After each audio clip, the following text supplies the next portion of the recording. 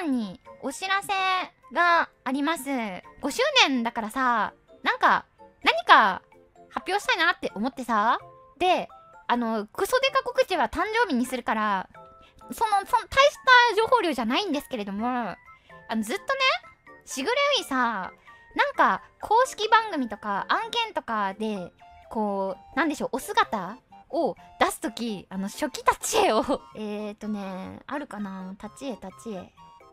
ああのこでかデフォルト立ち絵でいつも参加してたの？これでね戦ってたんだけどずっと。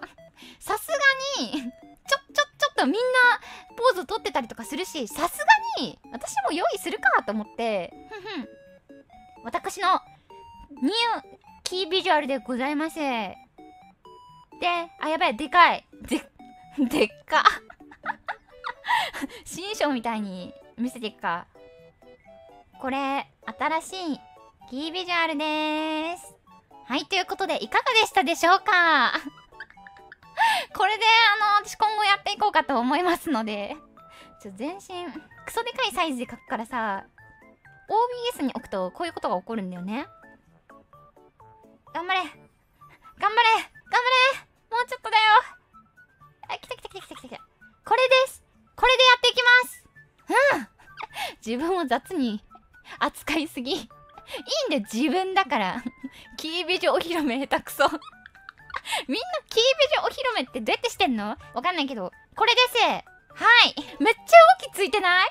だってさ前回これだよ？すっごい動きついた。3人並べとこうかな。よかったね。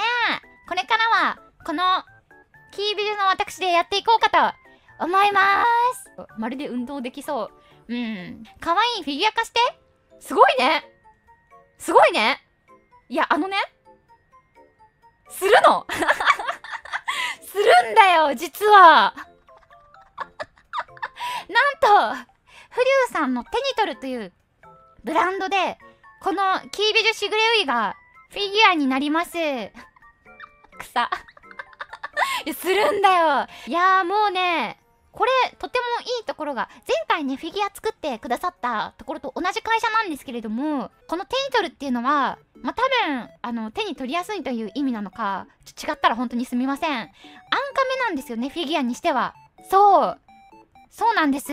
だからちょっと前回高いよってなってた方はちょっとお手に取りやすくまあこの6820円ではないクオリティの素晴らしいものなのでぜひともご検討いただければと思います気になるよねみんな。他の写真も見ようよ。うんかわいいね。ほらすごい。まるで運動できそうな感じですよ。すごいすごい。安っぽい女ってこと。やめてよ。手に取りやすい女っつってよ。いやもう企業努力ですよ。こんな素晴らしいものを6000円台で出していただけるのは。ほらもう顔も可愛いし。これも別角度すごいギリギリねちゃんと大丈夫な範囲で作ってくださっててね。あ私のことをよく分かってらっしゃるねって思いながら自画自賛。いや可愛すぎるだろ。最高。でもうちのねリスナーさんなんかめちゃくちゃ民度がいいのか前回フィギュア出した時にパンツの写真上げてる人一人もいなかったんだよね。本当にありがとう。そうなんかパンツの写真をさそういう SNS に上げるのってなんか品がないじゃん。今は買った人だけ見れるみたいなところじゃんって私は個人的に思ってるからさ。お俺俺ら俺らのリスナーおすげえなーって。思いました。はい。